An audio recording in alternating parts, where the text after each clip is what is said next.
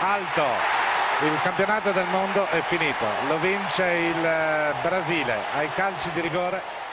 Naturalmente... Forse in pochi lo sanno, ma l'Umbria è da sempre una terra legata al Brasile. Le prime migrazioni risalgono alla fine dell'Ottocento, con un boom a partire dal 1905, quando migliaia di perugini, ternani, spoletini e orvietani decisero di lasciare la loro terra per cercare un futuro migliore.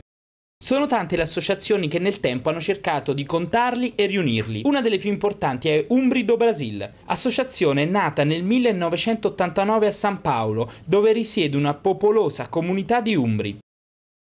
Ad oggi l'associazione conta oltre 1500 famiglie iscritte e grazie al rapporto con le istituzioni della regione promuove i legami con la madrepatria attraverso incontri e visite di studio. L'ombelico del mondo è un altro esempio di vicinanza con la terra di San Francesco. Si tratta infatti di una radio brasiliana che trasmette però le principali notizie umbre. Ma quanti sono invece i brasiliani in Umbria? Secondo l'ultimo censimento sono 623, ma stando a quanto ci dicono gli esperti, il numero è destinato a salire.